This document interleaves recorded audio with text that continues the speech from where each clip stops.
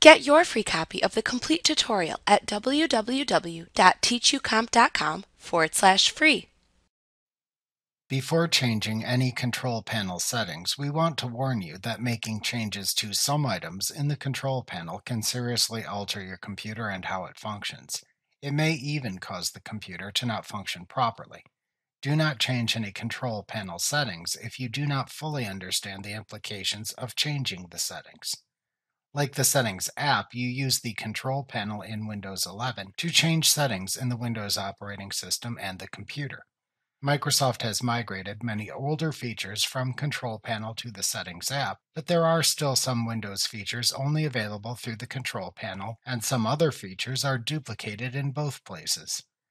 To access the Control Panel from the Start menu in Windows 11, click the Start button in the taskbar and then click the All Apps link in the Start menu to show all apps on the computer. Then click the Windows Tools app icon to open the Windows Tools window in File Explorer. Then double-click the Control Panel icon in the File Explorer window to open it. When you first open the Control Panel window, it shows some common Control Panel items organized by Settings category. The Control Panel items appear as blue hyperlinks, and the Control Panel settings categories appear as green hyperlinks. To show more information about a Control Panel settings category in the Control Panels category view, hold your mouse pointer over the Control Panel settings icon or category name and read the text that appears. To open one of these hyperlinks, click it. Clicking a Control Panel Settings category hyperlink opens a list of Control Panel Settings categories it contains and the settings within them you can change.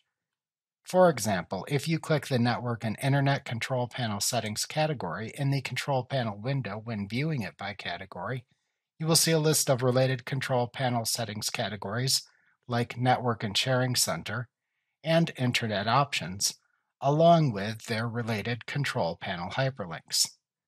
Alternatively, you can change the view of the control panel to show only icons for the minor control panel settings categories if you prefer. To change the view of the control panel in Windows 11, click the drop-down next to the words View By in the upper right corner of the control panel window.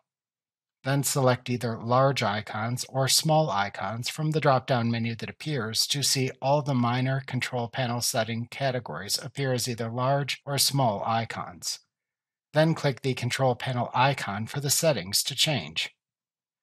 To read more about a minor control panel settings category when using either icon view, hold your mouse pointer over an icon and read the text that appears. You can click the View By drop-down again and then click the Category command to return to the category view of the control panel window if desired. To return to the initial view of the control panel when you are navigating within the control panel window, click the Control Panel Home link at the left side of the control panel window. You may find that some of the features you can change within the control panel are settings that are duplicated within the settings panel. For example, clicking the System icon in the Control panel when using the icon view simply opens the About settings of the system settings in the Settings app window, as discussed in a previous chapter. Likewise, clicking some setting buttons in the Settings app window opens the related Control panel window, as shown in some lessons from earlier chapters. For duplicated settings, Note that changing the settings by using one tool or the other changes that setting within the computer regardless of which tool you use. The Settings app is simply the newer tool for changing your computer's settings.